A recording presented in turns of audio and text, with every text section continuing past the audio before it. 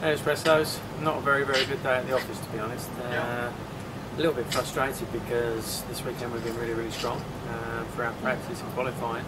In fact, uh, for qualifying we were second. Uh, we were really, really fast time and feeling really confident. Uh, today, uh, this afternoon in Superpole, didn't go so good and uh, ended up down in 14th. So I've got a lot of work to do tomorrow, but we've got some things to try in morning warm up and fingers crossed we'll be, we'll be much stronger.